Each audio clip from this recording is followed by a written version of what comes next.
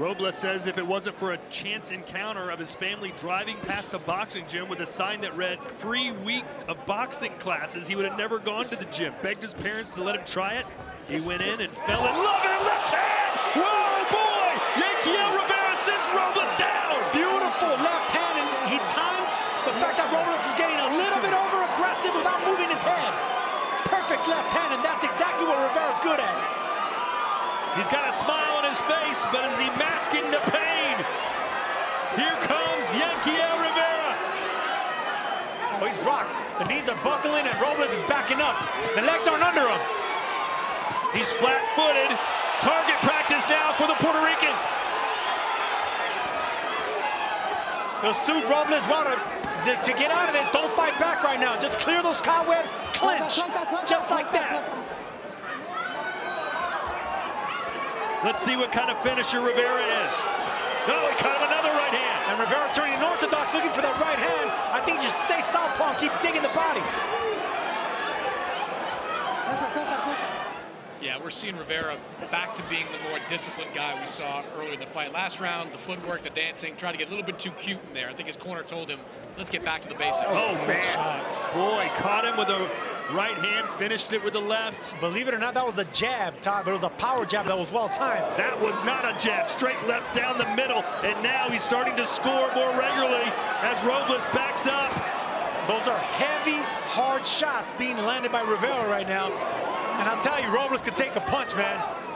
And Benjy Esteves just nearly stepped in to stop that fight. I think it was a Robles right hand that he let go just as Esteves stepped in there that prevented this fight from being stopped. And I, I would disagree. I mean, yes, I saw that too, but I, I, don't see Robles in, in that much trouble. I mean, I still see him trying to land the clean shots. He's still looking for that right hand, still landing body shots. I think it'd be a terrible decision if this fight stopped. I, I understand what you're saying. I think Benjy Esteves has seen Robles backed up like that a few times, and at some point, there's only so much punishment you want to let a fighter take. Tony Paolillo, 79 to 72. Robert Perez, 78 to 73. Waleska Roldan, 77 to 74. All three for your winner by unanimous decision. He's still undefeated. Yanquiel Doctorcito Rivera.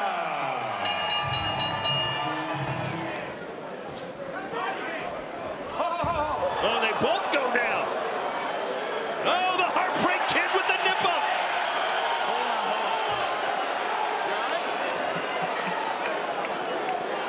You got something against that too, Chris? I have nothing against that.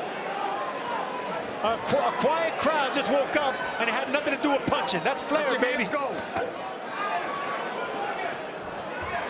Two good body shots and a great pivot out of the corner for Rashad Mahdi. He's feeling it now. Chris Mannix has a scorecard for this one. What do you got? Yeah, I've got it pretty wide right now in favor of Rashad Mahdi, 79-73. I gave Dakota Linger that fifth round when it seemed like Mahdi was still trying to adjust to whatever hand injury he suffered in the fourth round. But since then, while the pressure has been on the side of Dakota Linger, the clean punches, the volume punches, everything else has been with Rashad Mahdi. Including the left uppercut. There it is again.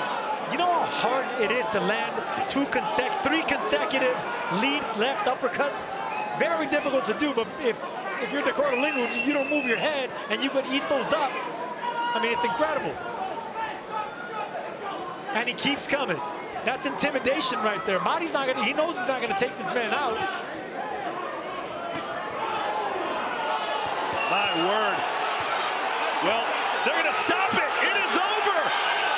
And finally, Rashad Mahdi, who came out to Shawn Michaels music, has his sweet chin music. See that right there? It was a left hook upstairs and a right hand downstairs. Back comes Kownacki with the right hand downstairs. Creative combination by both big men. Oh, big right hand, and Kownacki is back against the ropes. That shook him. Cusumano better not let him off the ropes. Kownacki's hurt. And that's how it started with Robert Helenius. One big shot that changed the course of the fight. We know Komnowski can take a lot of punishment, But you wonder how much his corner will let him take considering his long layoff and three straight losses. The body shot by Kownacki, left hand to the to the body of Cusumano. Cusumano didn't like that body shot.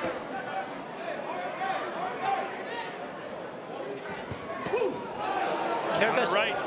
there's that short right hand again. That, that's the one that he's been working on. You can see it. That's the one he's going to be looking for. It could be short or could be long like that. Oh, caught him again, and down goes Kownacki. A lot of time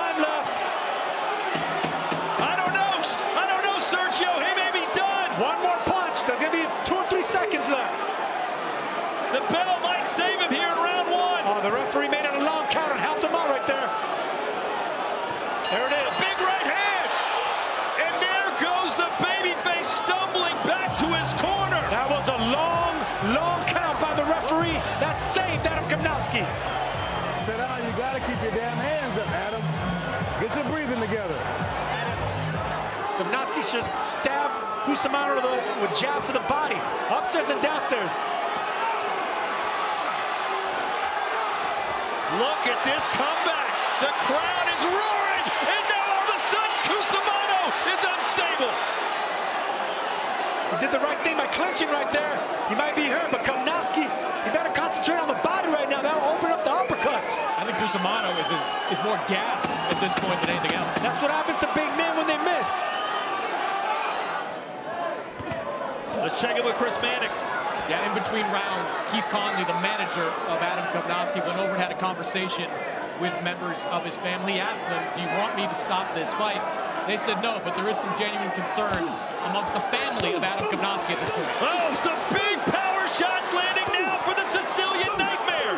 I think this might be it, man. I don't like There's no upper body movement by Oh, Kownacki. now he's This against the ropes. Stop the fight. And The referee taking a good look. This fight. I And like Keith it. Connolly is in the corner telling them to stop the fight right now, telling them to throw in the towel But back for comes- Adam Kownacki. But back comes Kownacki, so how can you stop this fight? And now Kownacki. Incredible action here at the Garden. What a war! From the brink of destruction, Kownacki is still in it. They've got the towel in their hand, Chris. This is wild. They were inches, moments away from throwing that towel in for Adam Kownacki rally. This is flashes of Riddick Bowe and Evander Holyfield. Back and forth, both these guys. Or how about Riddick Bowe and Andrew Golota before the And riot? I know I, I hate comparing grades to guys like these, but I'm telling you, the effort is great by both these men.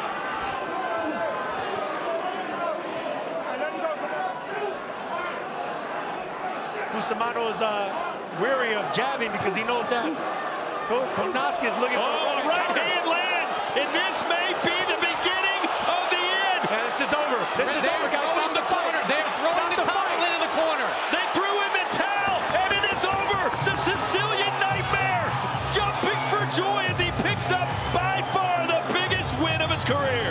What a fight. That's the way you want to see a fighter like Cusumano, but that's also what you want to see from a fighter like Kownacki, giving it everything he had in his final hurrah. Look, good, good upper body movement by Quigley right there. Another thing we're not accustomed to seeing. He's laser focused on the eyes of Berlanga and reacting to every single thing Berlanga's doing. Great upper body movement right there by, by Quigley. Circling away from the power right hand of Berlanga. Look at that foot feint right there. Is that a knockdown? Yes, it is. That's It skimmed the temple, or so it seemed. Quigley says, yeah, okay, I'm fine. No, it was a chopping right hand that glanced the temple of Quigley. Berlanga did the right thing and chopping down instead of punching up at the head of Quigley. Quigley dipped down to that right side, and Berlanga chopped down at that punch. Very dangerous, very dangerous to keep dipping down to that same side. Quigley's gonna have to keep defending to his left-hand side now, instead of just finding a safe spot on the right side. That's what you don't want from Quigley is to load up on one single shot. Oh, they're going to call that a knockdown? That shouldn't be a knockdown, but they are. He hit you, he fell. Yeah, that's a tricky call for a referee to make, but I think it is the right call. Yes, Jason Quigley's legs got tangled up, but they got tangled up because they were moving away from a punch from Edgar Berlanga. Technically, yes, but I think uh, it shouldn't have been a knockdown, especially in a, in a, in a tight competitive fight. I mean, but technically, it's got all that matters, right? Not in boxing.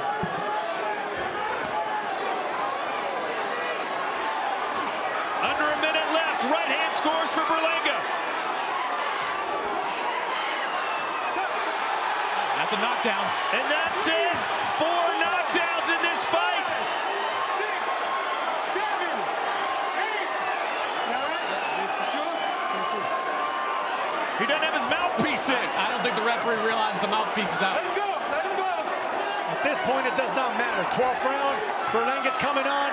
Quigley's already showing signs of weakness as brilliant as he's boxed. This is a 12-round fight, the championship rounds. Time to close the deal. Berlanga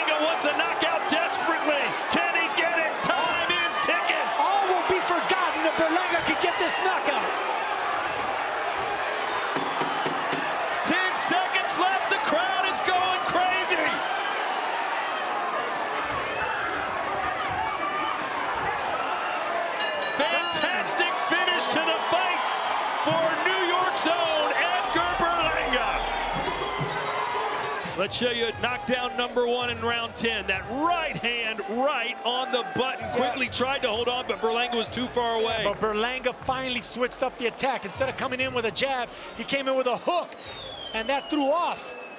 That threw off Quigley. It was a 3-2, landed cleanly on an already tired Jason Quigley. Here's the knockdown number two. Edgar Berlanga pawing him down using his hand. The referee warning him there, but you could see that Quigley was hurt. That shouldn't have been a knockdown. No, he, pu- shouldn't he have. pushed them down, but at that point, it really didn't matter. Ladies and gentlemen, after 12 rounds of action here at Madison Square Garden, we go to the judges' scorecards. Max DeLuca and Frank Lombardi both scored about 116 to 108. Nicholas Esnall, 118 to 106 for your winner by unanimous decision. He's still undefeated and still the WBO and ABO super middleweight champion, Edgar, the chosen one, Berlanga.